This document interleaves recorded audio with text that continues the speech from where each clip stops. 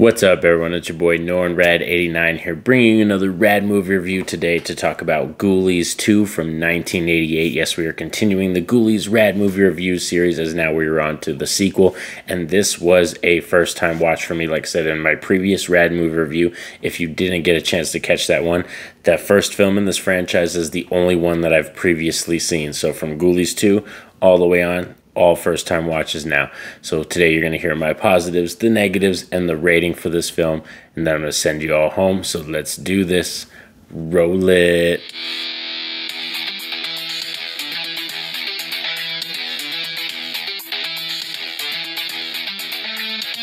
So Ghoulies 2 from 1988 is directed by Albert Band and produced by him. And if that name sounds familiar, that is actually Charles and Richard Band's father. So that's a really fun fact for you right there. This film is not really tied into the first one. You kind of have to go into this one like not like kind of disregarding the ending of that first film a little bit. But yeah, this one starts off with our antics of our silly ghoulie characters.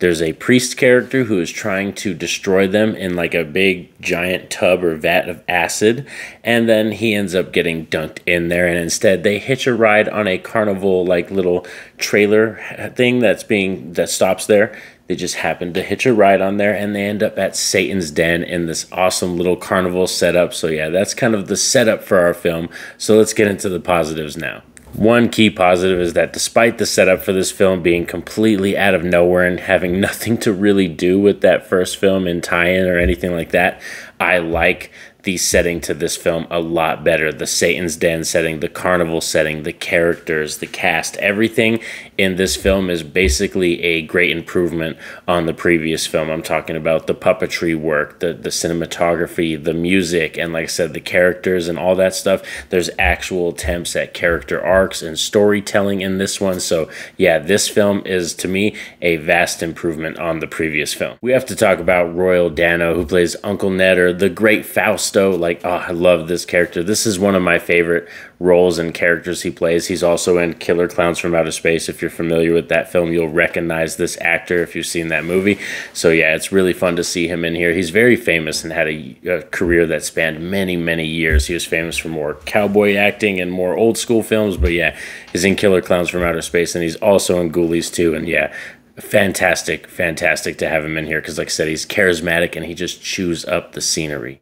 Add to that the characters around him. We have Larry, Sir Nige, we have Nicole, even our kind of you know anti antagonist character that's not like a Ghoulies character that comes in and he's trying to shut down the Satan's Den. Like even that character, all of them have something about them. They have certain scenes or they get time to shine. Like I said, they have actual like charismatic good actors in this movie that are able to hold up the film and carry the weight of the scenes they're asking them to do. Also have some familiar faces like Sasha Jenson from Halloween 4. You're going to recognize this guy right here, this face, and also Don Jeffcoat from Night of the Demons. So there's two familiar faces. So this one's littered with a lot of familiar faces in the horror community and like said this one like in terms of improvement on cinematography I really enjoyed that. The puppetry work I like the way the puppets look in here. They're creative. We have like this kind of new bat design one this flying one so that's new. That was not in the previous film. I like our kind of slimy looking like oozy baby one that comes out of the toilet. Like that that's my favorite designed character one. Then we have our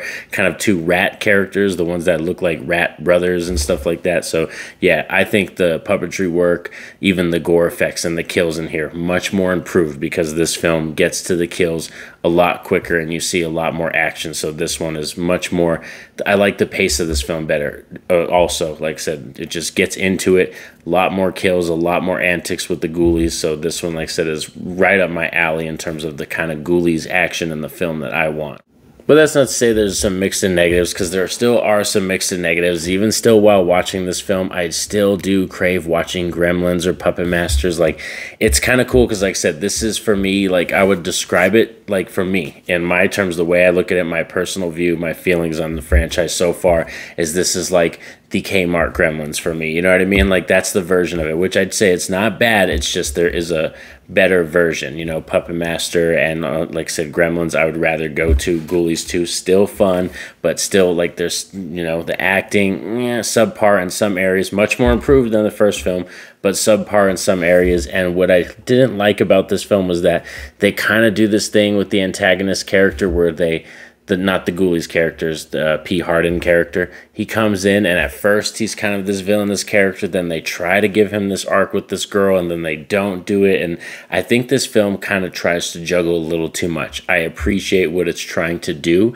but I think it's trying to overcompensate overcompensate a little bit too much for the fact that the previous film had very, very little character moment arcs type stuff. So, one other negative I had with this film is that when we do get into the third act, there's a certain sequence that has to do with that we're going to spoil this movie. This movie is from 1988.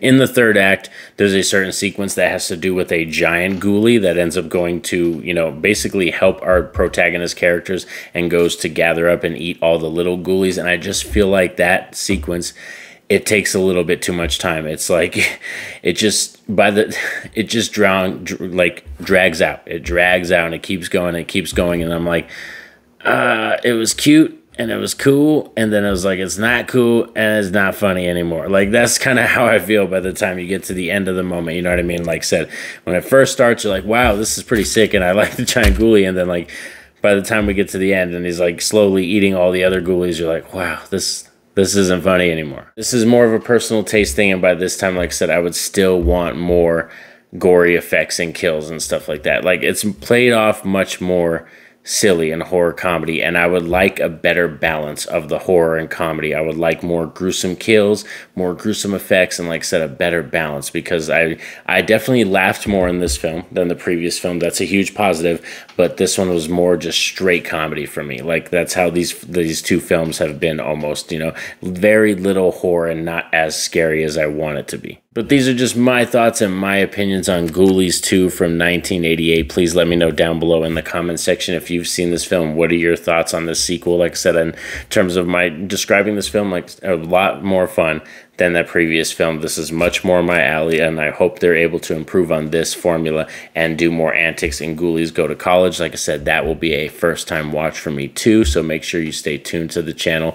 You know, I'll definitely have that rad movie review coming for you, but you came for a rating. You got to know what is the rad rating for Ghoulies 2. Ghoulies 2 in my book is going to get a 7.5 out of 10. Like I said, there's still some elements I wanted improvements on, but definitely a lot better than that first film, and I'm hoping the third one leans more into kind of this category and the way this film was and stuff like that. Please like the video. That definitely helps out the channel. Subscribe if you're new to the channel and have that notification bell poked so you're notified anytime I drop a video because that's how you're going to stay up to date on the Ghoulies franchise reviews. These some anime horror reviews. I got a couple more coming out and also some Courage the Cowardly Dog deep dives. You want to stay to, in tune to the channel anytime I'm dropping those videos. And also, you know what's up. Have a safe and happy day. Peace out.